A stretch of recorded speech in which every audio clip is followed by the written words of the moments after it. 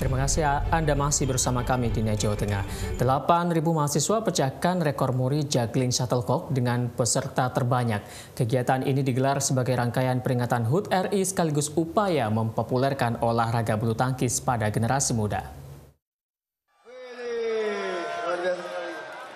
Minggu sore 8.000 mahasiswa Universitas 11 Maret Surakarta berkumpul di Stadion Kampus dengan membawa raket bulu tangkis.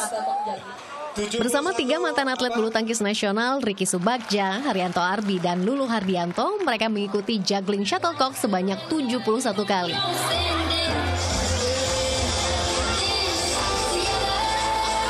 Acara ini digelar untuk turut memeriahkan HUT RI dan upaya memasyarakatkan olahraga terutama bulu tangkis.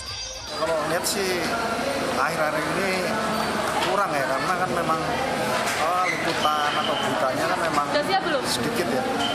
Dengan momentum Olimpik ini mudah-mudahan ke depannya sih peminatnya akan lebih banyak lagi.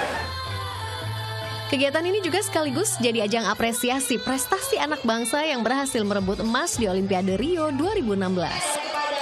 Kita semangati melalui atau dari UNS ini, dari masa UNS, mari kita usahakan rebut kembali dan buktinya kemarin dua putra putri bangsa Indonesia telah mendapatkan uh, medali emas. Ini berarti kita bisa.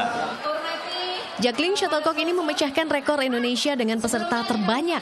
Tercatat 7.795 peserta terlibat dalam kegiatan ini. Kurniawan Arif melaporkan untuk NET.